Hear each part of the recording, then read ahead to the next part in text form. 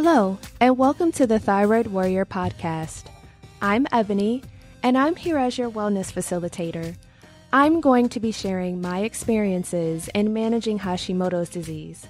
I really hope that it'll help you on your personal journey.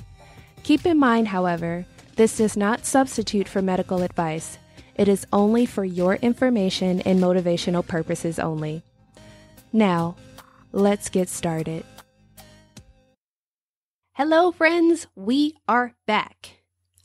I am so proud of you for taking the time to do this very, very difficult work. It is not easy. It is not fun. No one really likes to look inward and see the things that aren't so great about us. It sucks. It does. But when you start the process of actually doing that, you'd be surprised at how much you uncover and how strong you really and truly are. Because I'm going to tell you something. When you're managing an autoimmune disease, a thyroid disease, and you just do not have the same amount of energy as the person sitting next to you, you have to try to hype yourself up constantly to get things done.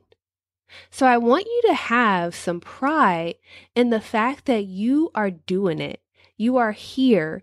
You are traveling to work. Sometimes you have up to maybe two hours of a commute every day. You're still getting things done with your kids. You may not feel like you're doing the best that you could do, but at the same time, your children are fed, they're clothed, they have a roof over their head, and your bills are paid even if you're not in the ideal situation right now, let's say you have a lot of debt because you've been going to doctor after doctor after doctor to figure out what's going on with you, if you finally gotten to a point where you have a diagnosis, that is something to celebrate. And if you're at the point now where you're like, okay, I really want to start the process of managing my condition, I'm proud of you too. And I really want you to take some time to have pride in the things that you're doing and the things that you're accomplishing. When you go to the doctor and your thyroid stimulating hormone levels have dropped, celebrate that. When you actually get sleep at night and you're not in this crazy cloud of insomnia, celebrate that. When you actually get up and you can put on clothes or shower, celebrate it because it can be such a challenge to feel normal.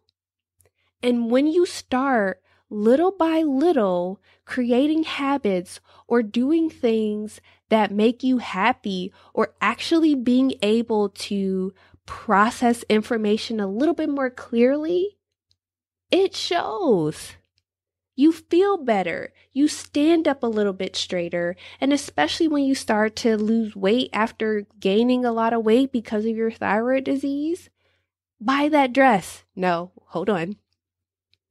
Before you start doing that, understand and recognize, I will put this disclaimer out here because I went through it, that our brains, and I forget what the phenomena is called, but when we buy one thing, we naturally want to keep buying other things. Before you keep buying those other things, ask yourself, do I really need these other things? And if you and your partner really keep things tight when it comes to finances or money is tight, ask yourself that question. And try to figure out how to make things a reward and not actually reward yourself until you've accomplished said behavior. That is one way I was able to manage the process of replacing my wardrobe. I did it over a year because A, I didn't have money to just go out and spend thousands of dollars or hundreds of dollars even on new clothes. I was like, you know, not doing that. Especially because I was in the process of paying all these fees and getting all these things done after separating and moving and blah, blah, blah, blah, blah. So little by little, reward yourself. And what I want you to do is start telling yourself a different story. So, as my mentor, Shante Grant, used to tell me, she's like, Who do you need to become in order to be Ebony 2.0? What behaviors and patterns and, and what things are you telling yourself that need to change? So I'm going to ask you guys the same thing. What are you telling yourself right now? As you're making these changes and you're starting to implement things little by little, what are you saying? And it goes back to our affirmations. I am healthy, I am healed, I am strong, I am intelligent, I am capable of doing hard things, and I am well, I am productive. And I write those things. I have dry erase markers. I write them on my mirror because I have to constantly remind myself of that new story so that I don't slip back into those old habits, behaviors, and or patterns. So every time you accomplish something, even if it's getting up in the morning, celebrate it. Because maybe a month ago you had no energy to get out of bed or your joints were so inflamed that you could barely walk or you didn't even have the mental capacity to remember what you did the day before. Every time you can remember something, celebrate it. Go out, shout, scream, jump for joy.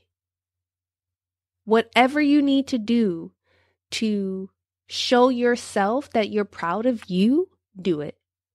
I don't care if it's embarrassing. I don't care if people stare at you. They'll get over it but be happy about the things that you're doing because it is remarkable.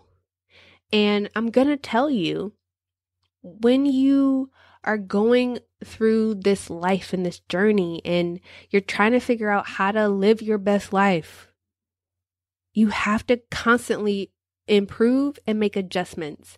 It's the small things. It's like sleep. It's going to the doctor. It's making sure you're taking your medication, or if you're seeing a functional medicine doctor, actually doing the protocols. It's getting up and living with a purpose. Even when you fall, get back up again. If you can't walk, crawl. If you can't even crawl, hold your head up with a pillow because it can be a hard road. And the more we get used to this new identity, the more we start to walk through those processes and those systems that I talked about a couple episodes ago, you'll be able to just be happier. And you'll start to realize that over time, you're actually getting stuff done and you're actually becoming that person that you always dreamed about becoming. And I want to make sure that you guys get the free download, and that is at joyfulebony.com forward slash healthy basics. And in that guide, it's going to give you little tips about meal planning. It's a template in there. It is information about water and just some quick tips to help you on your healthy living journey. And I would love to hear how you're implementing these things. And I'm at Joyful Ebony on all social media platforms. And I'm really excited, guys, because we're about to get to episode 100. And just so you know, here are some resources available to you. You can go to joyfulebony.com forward slash thyroid guide to pick up my thyroid guide. And you can also get ready because two things are about to happen. One, I am going to be releasing a health journal, telling you guys here first, and I'm also getting prepared to launch my thyroid basics course again. And I am pulling out all the stops. I'm getting things updated, getting ready to start filming, and it's going to be good, guys. So definitely keep a lookout for that because it's about to be good. And because I really want to give you guys the most bang for your buck, I'm going to be releasing monthly emails to share with you past podcast episode, my YouTube videos that come out every Tuesday, and different fitness tips, recipes, all of that jazz. I'm working on that right now to just revamp that and get that updated for you guys so that you have hashtag all the things. And I'm so excited about that. So until next time, be happy, be whole, and be well. Take care. Okay, thyroid warriors, get out there and take things one step at a time. Remember, be great, reflect on your triumphs, and as always, be well. Take care.